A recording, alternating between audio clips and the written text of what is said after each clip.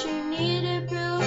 You saw her bathing on the roof, her beauty and the moonlight overthrew you.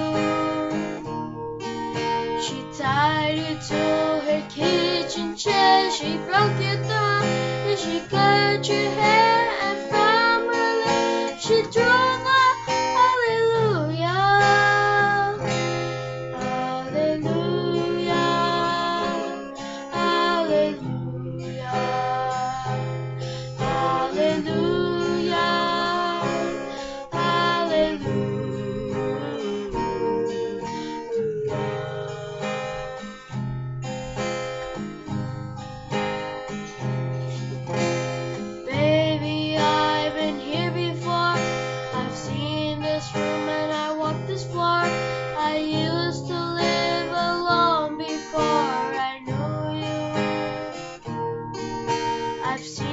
flag on a